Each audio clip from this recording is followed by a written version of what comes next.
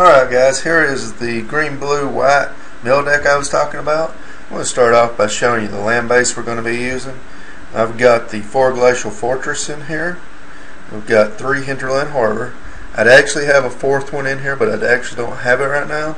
So I just went ahead and went with the three that I got. We've got four of the Seachrome Coast.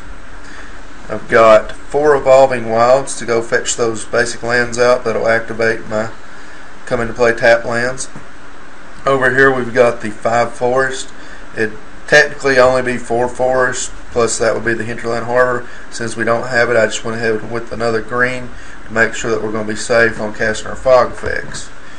Now we've got two islands and then we've got two reliquary towers and I've got the reliquary towers in here because sometimes with the drawing that this deck can generate you're going to end up with more than seven cards and you don't really want to be discarding anything because there's a lot of useful interactions in this deck. Um, this is our main kill card in here, Jace, the Memory Adept.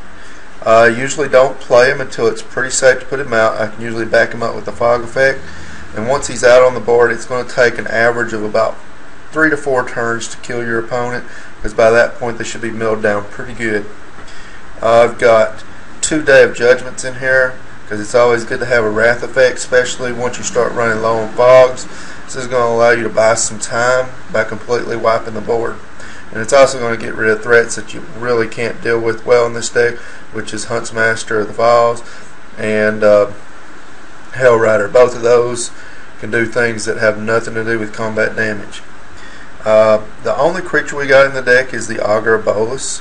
He's mostly in here so you can make sure you can find all your fog effects, uh, or any of the other instants of sorceries in the deck.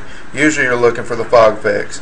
Now he rarely whiffs in this deck because you've got so many uh, uh, instances of sorceries that you can get, but occasionally you will hit like land land planeswalker or land land enchantment, but not very often. I think maybe I've only done it one or two times. I've got negates in here. Uh, negate is in here mostly to take care of things that you're just not going to be able to fog, which are direct damage spells. Uh, Devil's Play can give you a lot of problems, and so can Bonfire of the Damned. This uh, can take care of it. You need to make sure you use this sparingly and only use it when you need it.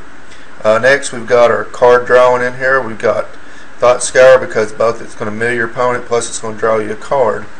So this works out really well in this deck and it only costs one blue so you can use it uh, you know, when you need to find that extra fog, when you need to mill, when you need to find a land. It's just a really all-around useful card. Now this is your card drawing engine. This is the card that you really need to protect. Uh, Jace is only the second most important card in this deck. This is your first.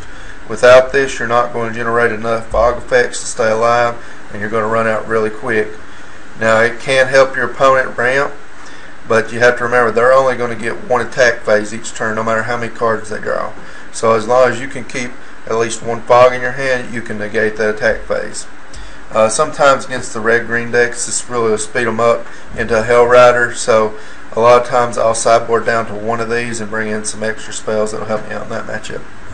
Uh, next we got Trading Post. I've just now been trying this card out. Seems to be doing pretty good. Uh, it allows you to gain some life back late in the game, so you if you run out of fog effects, you can kind of build a little buffer zone.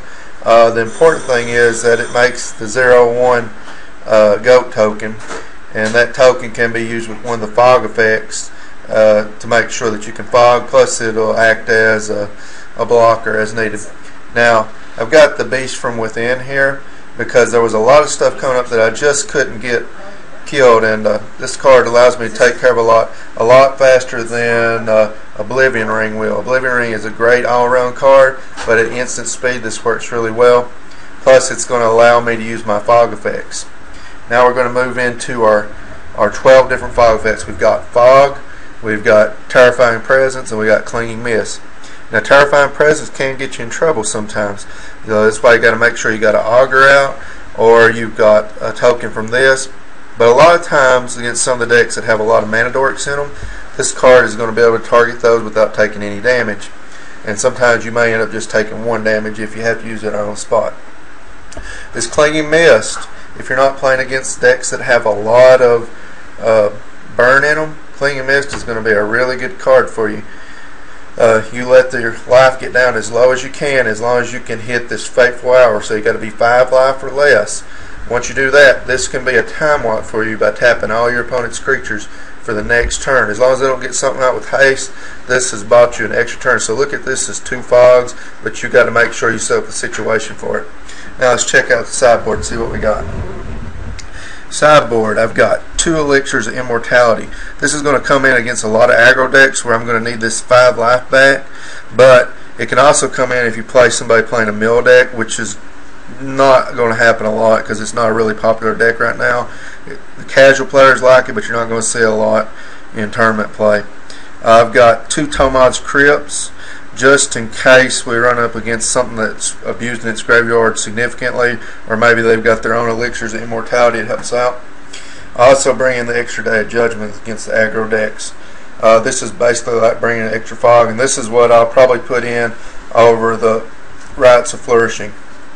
Um, against a slower control deck that doesn't have a lot of threats, I'm going to side out a few of those fog effects, and I'm going to bring in this uh, Mind Sculpt. Mind Sculptor will let you uh, mill your opponent quite a bit faster, and it gives them something that they're going to have to burn a counter spell on. That way you don't have to worry about your Jace. Uh, Oblivion Ring, I'll probably cut a few of these as I work on the deck a little bit more, but this is just a catch-all card and I needed some more of them. Uh, but I'll probably end up taking out two of them and replacing them with an additional two beasts from within. And then the final card in the deck is Elderscale Wurm. There's a, quite a few decks that you're going to have trouble, which is like the uh, red green aggro deck, which I mentioned. Uh, if you can last long enough to get this guy out and then protect to make sure they can't burn him out with Devil's Play or Bonfire, this will help you go ahead and seal the win. That way they can't beat you out with Hell Riders or uh, Huntsmaster. Um, hope you guys like the deck. We're going to try it out in a couple matches here. Uh, let me know what you think.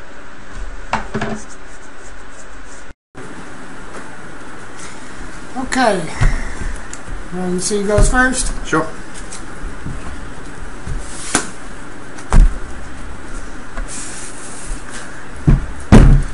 Four. Twelve. Let's put this back on the big 2-0. There we go. Set this hand to 7 yields me 1, 2, 3, 4, 5, 6, and 7.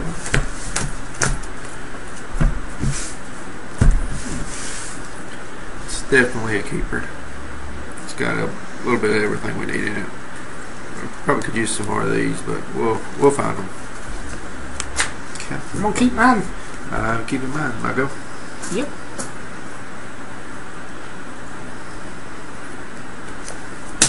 Go ahead.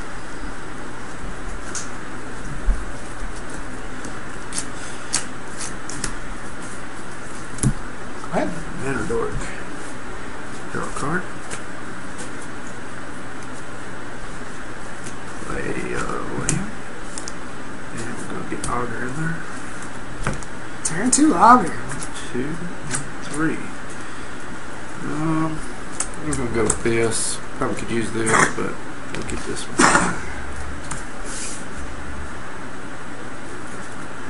Choice direction, let's go. Okay. And you can go ahead.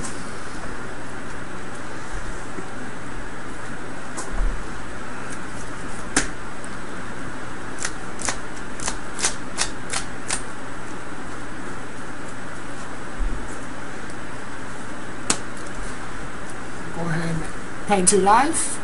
Okay. And bring out the birthing pod. Ooh.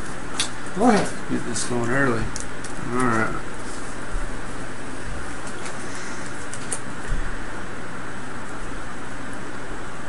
Okay. Go ahead and draw a card.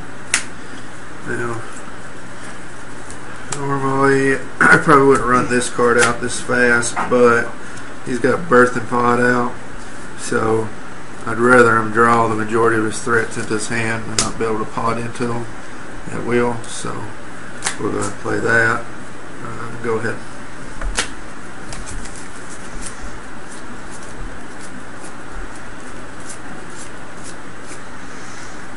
Bring out first. Out second. Yeah.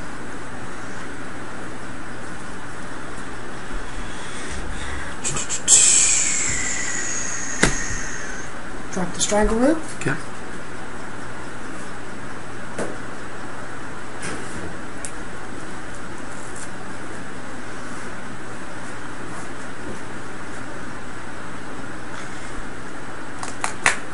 To go ahead and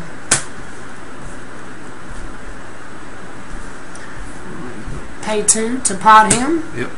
Gonna Pod up.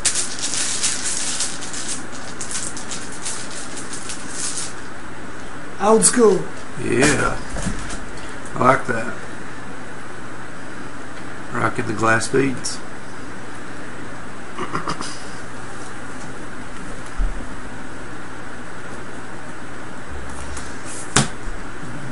Bring a blade splicer. It's definitely bringing the beats out.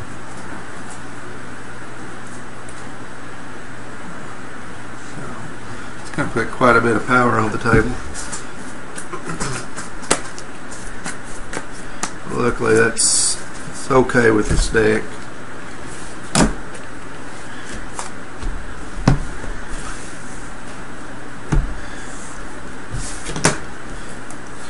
And then I will uh, go ahead and swing three. Get in there for three, so go ahead and drop us down to 17. We're not really that concerned with our life at this time. It's only once we get down around 10 it starts getting to be a problem, or if there's significant damage on the table. You done your turn. Yeah, pass. Yep. So we're going to draw our two cards. One, two. Which is weird. They're both lands. So we'll go ahead and sec that.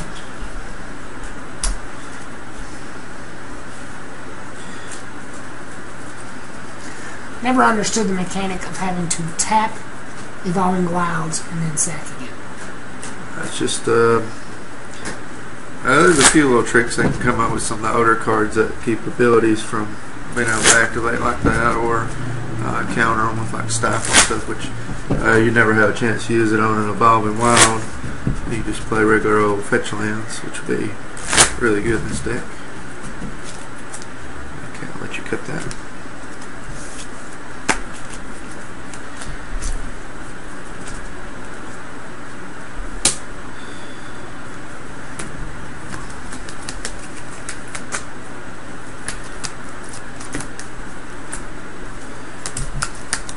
What thought scare you? Alright, land. Ooh, glad that guy's in the graveyard. He's a real pain against this deck. And we'll draw our card for the turn. Uh, go ahead.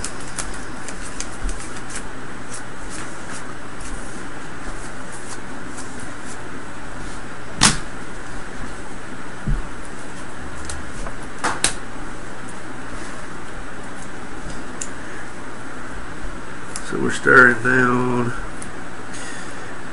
oh, seven power on the board right now. The ability to pod.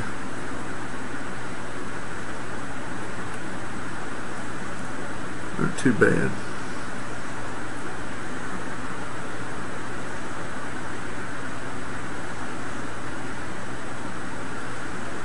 Light Spicer. A really good card in the pod deck, I think.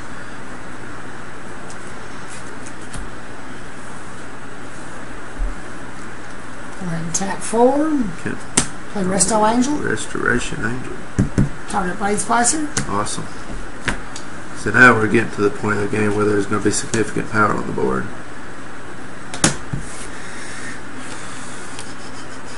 So probably want to soak up as much damage here uh, this turn as we can.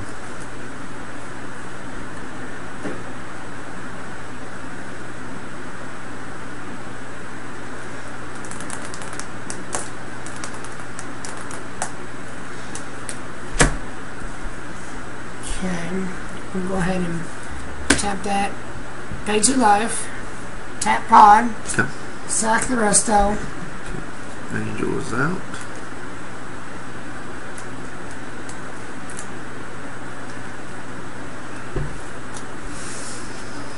It'll be broken in Geist-Honored Monk. Mm. So he's going to bring in a lot of dudes. That's going to definitely increase the damage clock.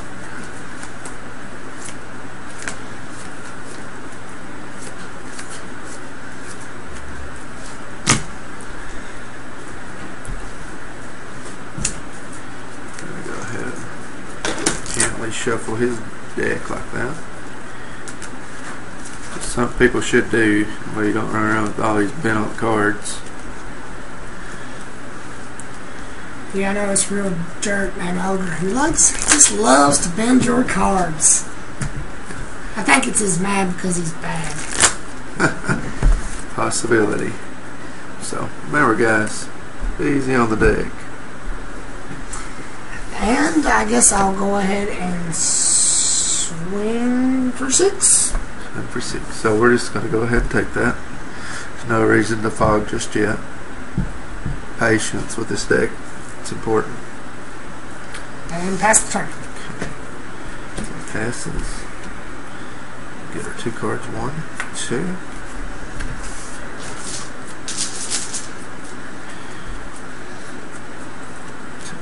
That.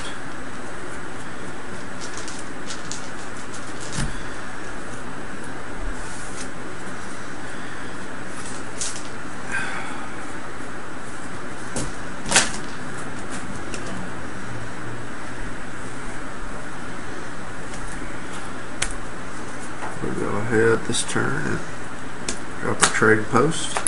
Go ahead. So this turn looks like he's got eight, nine, 10, 13, 19 power on the board, 20 power if you count the blade splash, what you want to attack with. Maybe. He might trick me.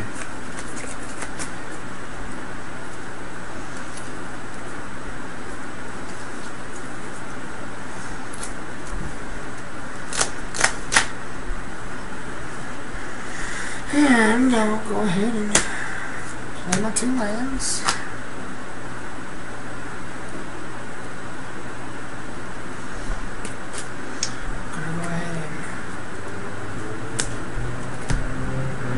Four.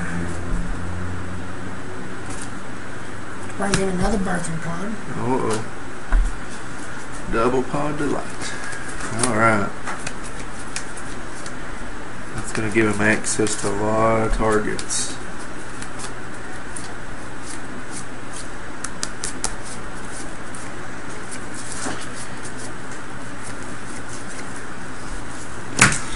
Gonna go ahead and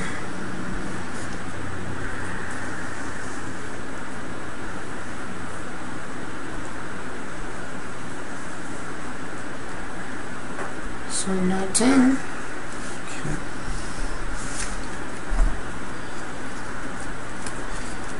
Respond with a terrifying presence. Okay. And choose him as my target. So prevent all combat damage except for what Augur will do. He's going to block this guy just because he can. Okay. Makes no difference. Um, that's it on that part. I'm gonna go ahead since first strike doesn't matter that much. Tap Razorverge and tap the Paradise. Okay. Tap that to sack the Splicer. Okay. Pod and away, Splicer. This could be really bad.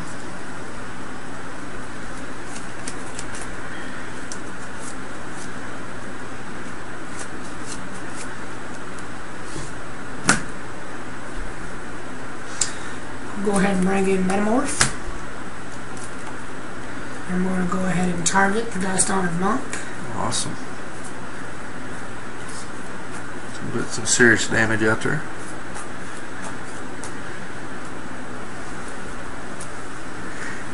I don't think I have any more spirit tokens. So we're gonna let these guys be spirits.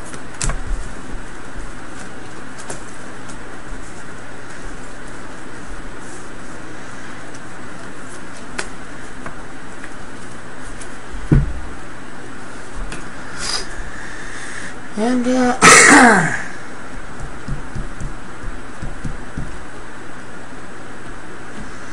Both of these notes are going to be 10 tens. Awesome. Last turn. Alright, let's hope we go into something good here. One, two. Not what we were hoping for. But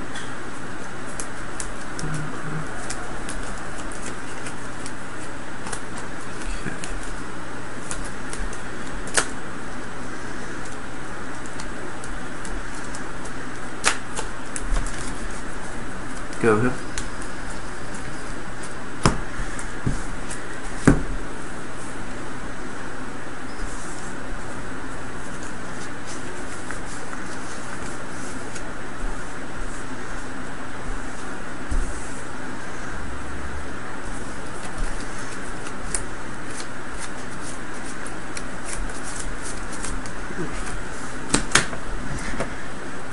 Go ahead and call Prater. Okay. Township.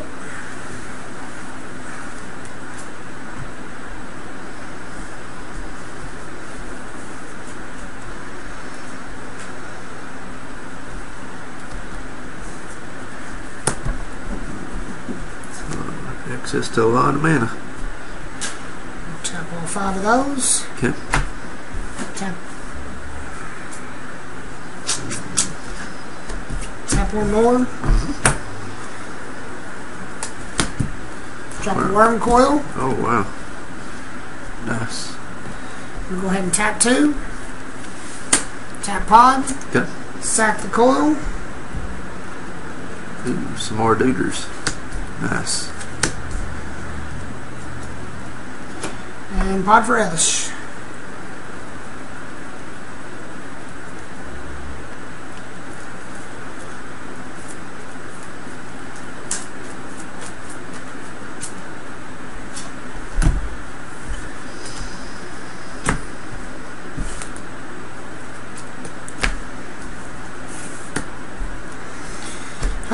So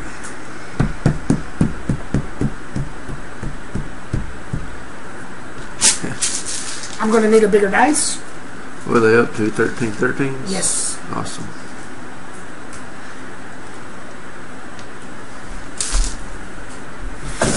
Plus the 2 2 from Oh yeah. I'm going to Nice. swing for 30 with those.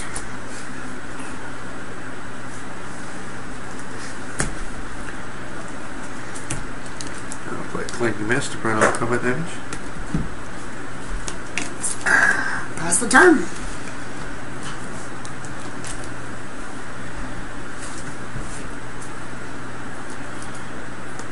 One. Two. Awesome. Thank you.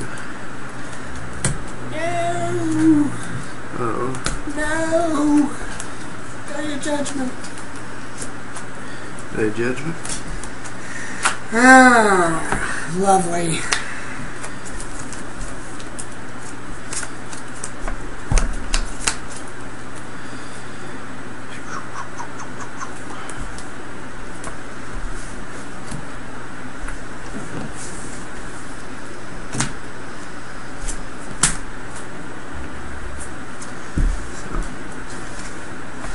That's a little better fog at this point. Hmm. Go ahead. Did you have the fog in hand? Nope, I did not. So, we've been pretty much waiting on that land for quite a while.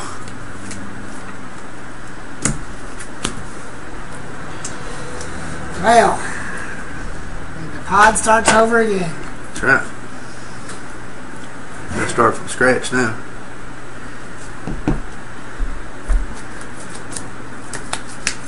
I really need a second rites of flourishing. Really help you keep up with your deck.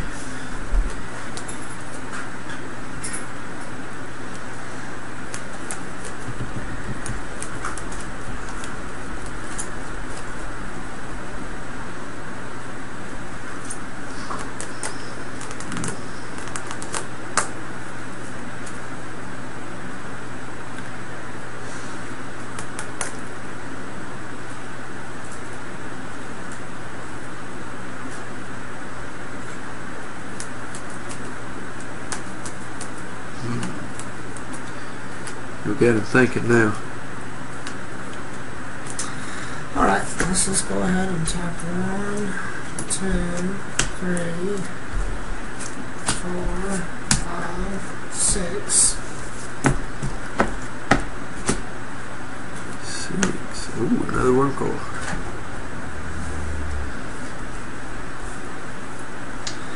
And pass the turn. Awesome.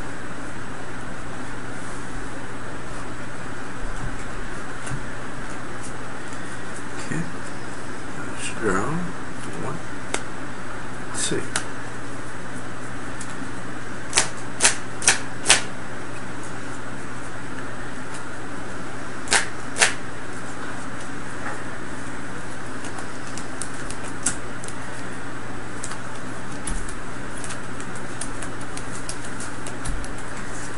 Okay, let's go second right. So it's going to help us out quite a bit.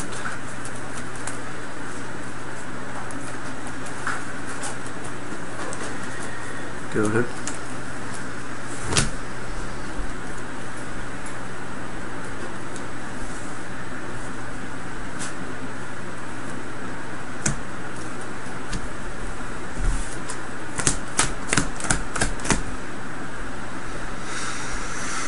Go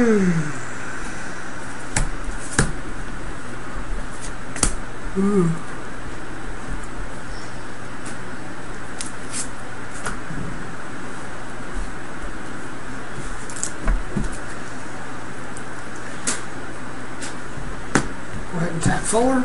Okay. Bring in Resto Angel. Oh boy. You target him and choose not to bounce him, Huh? has to have a target. Oh, okay. Well, you get some A ability. Choose not to. Okay. Um,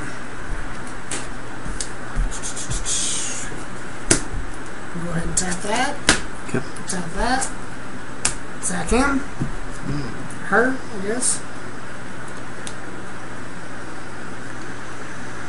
So what could be the I'm thrag. drag to us? Awesome.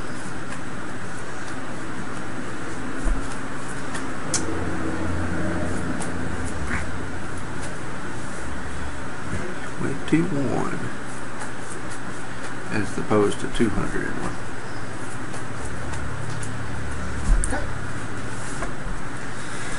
You're thinning me out, man. Thinning me out. I think you're doing most of the work yourself. Yes, I think you're right. Lots of flourishing isn't helping. No, those pods are helping me out quite a bit.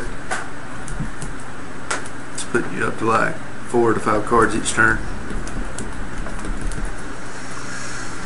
One, two, six. Uh, you don't have trample, right? Nope. Okay. I'm going to make a goat token.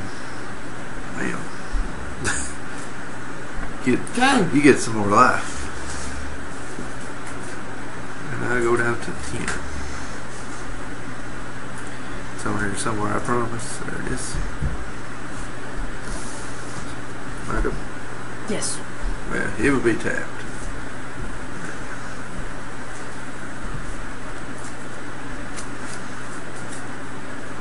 One, two, three.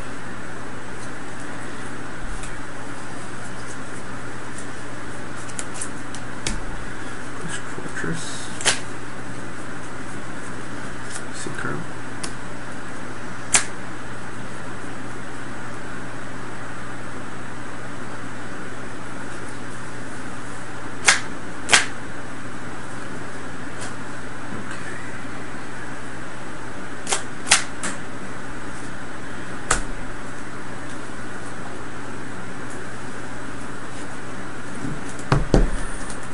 Five. Drop a Jace. And gonna use his zero ability.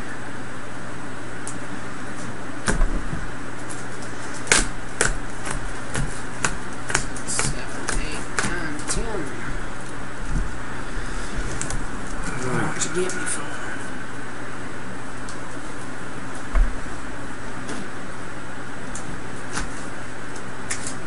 Nathalia. Yes. Never twice, and both times you got Nathalia. Awesome. Yeah, I'm definitely glad not to see that out. It's a really annoying card against the stick. I don't like paying more for my spells. I think they cost too much already. Go ahead.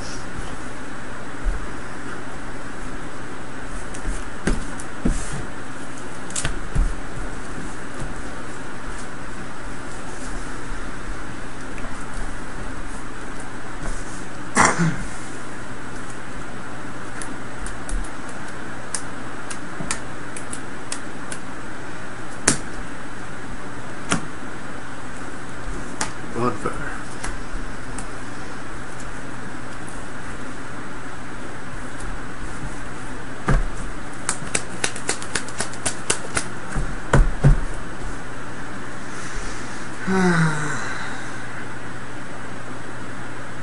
Cards in hand. One, two, three, four, five. And you got four untapped mana. Well, I'm gonna run this right into a rewind, but I'm gonna go ahead and Bonfire for nine.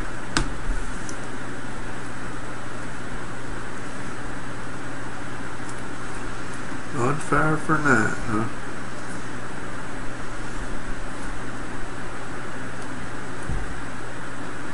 Puts me at one.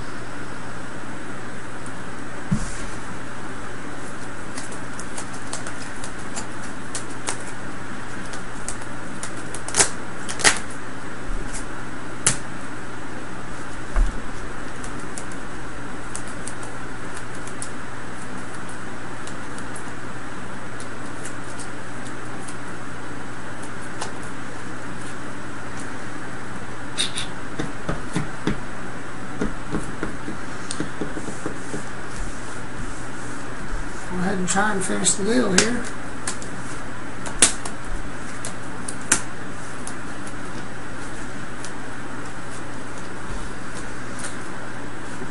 Tusk is targeting you, if it matters. Or, I'm sorry, targeting Jace. Okay, Clinging Mist. Yeah. And they want to attack next turn. That's why I went down to the one. Okay, I go. Go ahead. Gonna tap. Try to straighten these lands up just a little bit. To keep my lands kind of neat. There we go. Draw three cards. One, two, three. Uh, we're going to Jace you for 10 again.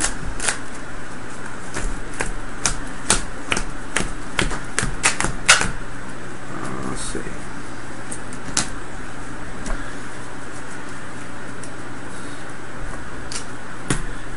Let's go ahead ourselves an Augur. The only one that mattered out of that was that. One, two, three. Wow, we actually whiffed with it, which was alright. Sort of. It's not ideally what we wanted, but we'll take it. And we're not going to play that. Um, going to pass the turn.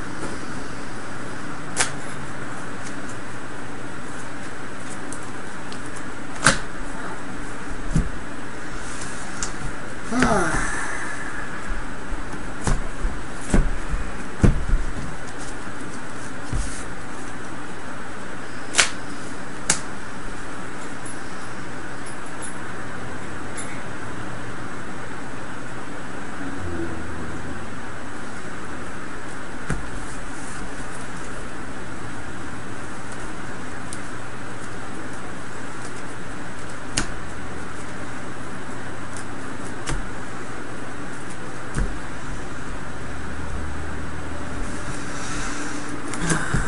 Tap one, against the Pilgrim. Oh, there's that pilgrim. Tap another one, bring Birds of Paradise. Uh-oh. Tap two. Uh, tap Earth and Pod. Maybe. Choices, choices, choices. So I'm just going to go ahead and Not tap first. not and Pod. Gotcha. You got your tip now back.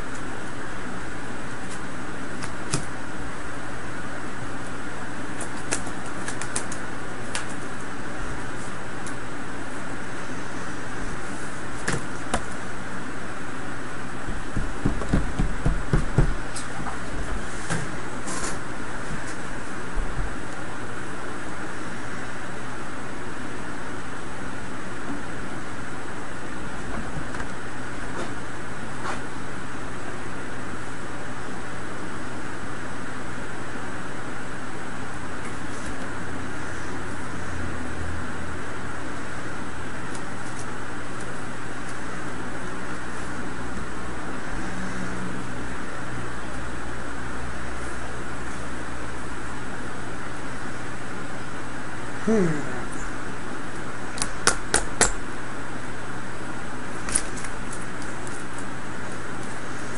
Well, we'll go ahead and pass turn.